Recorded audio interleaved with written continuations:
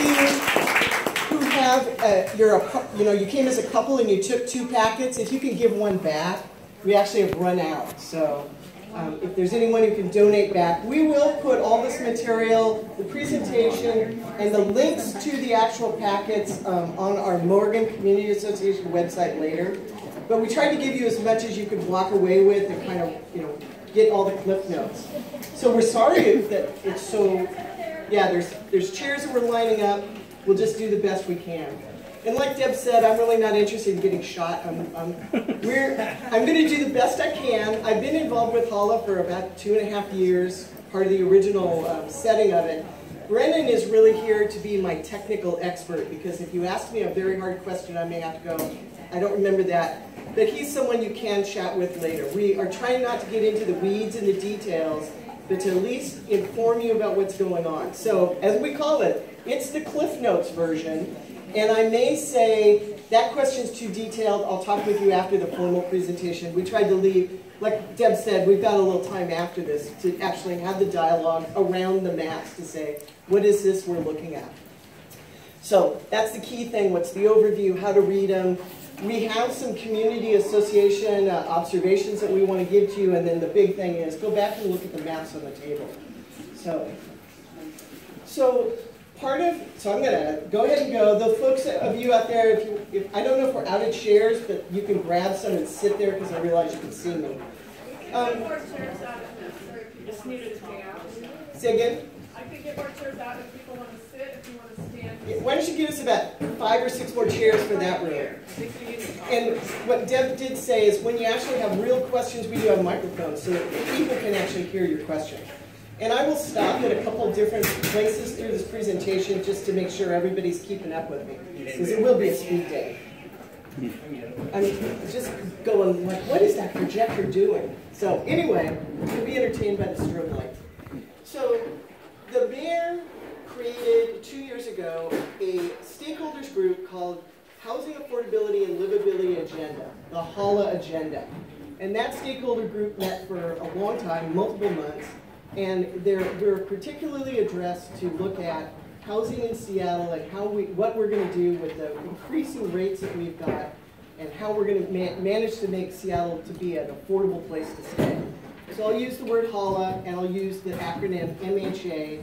Go ahead to the next slide. The HALA goal was 30,000 new market rate homes and 20,000 of those being at affordable rates. And we'll talk a little bit later on about what affordable means. And, and basically when I say affordable housing, it's really rent restricted, subsidized type housing. So when you hear me say affordable housing, that they want to create 20,000 affordable units, that's subsidized housing, and the MHA program has a specific goal of 6,000 of those. So that is the one element of HALA that we're talking about is this affordable stuff. Go ahead. You know, so you're going to kind of miss, I don't know why it's also not showing the whole thing.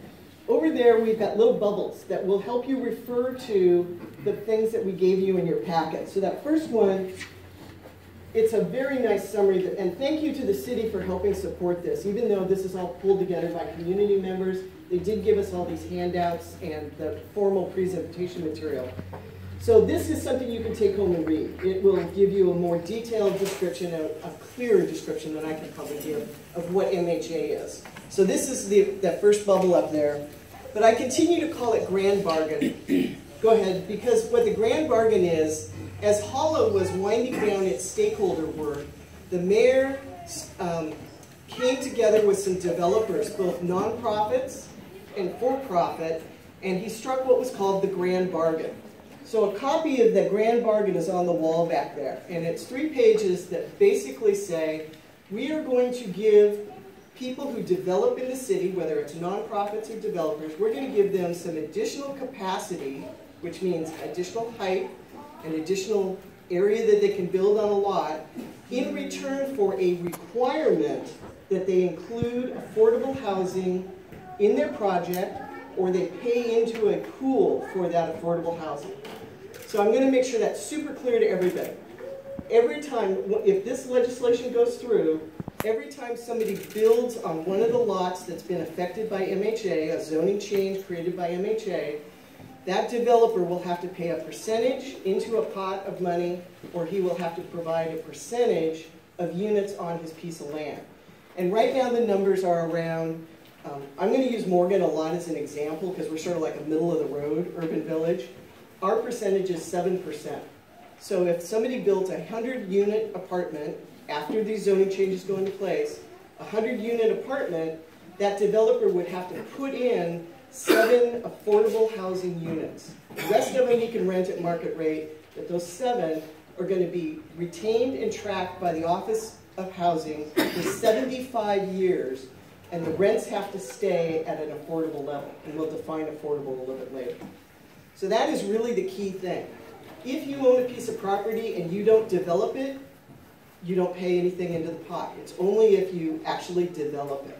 So that's, and it's mandatory. There is, there's a couple of small provisions of ways to wiggle out of it, but it's mandatory everywhere. And so where it will go is everywhere that there is low-rise, commercial, neighborhood commercial, multifamily zoning, and inside urban villages, it will also go where there are single-family zoning.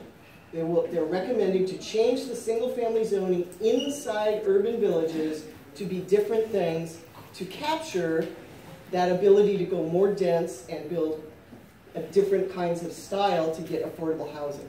So I'm just making sure you know where it is. We'll see a map in a little bit here too. So that, that ability to, when you upzone, that is what's giving us the capacity to offset. The city believes that it will increase housing choices throughout the city. And this is also a program that's used in the state by other cities. So Seattle is one of the, the later ones to come to this. Okay? So, I'm not, there's only two, two slides in here that should scare you. This is one of them, right? And it's only because it's just like math, and I don't do math standing up very well. So, this is one of the handouts, and what this one is, is area median income and affordable housing definitions. And, and so this will help you understand who this is going to help, right? In, this, in an area like Seattle, they do calculations to get to something called area median income, AMI. And when they arrive at that number, what the number represents is that half the people in that area make more than that number, and half the people in that area make less than that number. So the number for Seattle is set, okay? And then affordable housing is 60% of that number. And so that little table will tell you that if you are a person who makes, um, you're a single person, and you, your income level is 60% of the area median, you're making $37,000. So what this does is it translates it more into monthly rents, because that's kind of what we, did I say 37,000? I hope. My, Yeah. my mouth and my brain sometimes don't see the same thing. So what this does is it translates it for us. So down here at the bottom is some examples of people who make that $37,650. It's elementary school teacher salaries. It's two people who might be earning minimum income, um, an administrative assistant. That's the range of salaries that we're talking about. That person, normal standards are you pay 30% of your income to your housing needs, right? So if you're paying 30% of your 60% of AMI, that's about $1,000 a month. That's what you can afford comfortably. And so that is what we call 60% of AMI. The problem is there's this kind of huge gap going on in Seattle. So the average rent for all units whenever this slide was created, which was either 2014 or 2015, was, you almost have to do it every month now to keep up. $1,600 was the average of rents. The new units coming online in the market were coming in almost at $2,000. So this program is intended to help people who are suffering in that gap area. They, they just don't make enough to live here in Seattle. So the point of the MHA program is to create 6,000 units so the people who make those salaries can stay here in Seattle. So that is why the mayor is doing this. Go ahead. So unfortunately, the map you really want to see is the one over there. Um, it may be in one of the handouts. There is an existing program the city already has that's voluntary that does this same thing.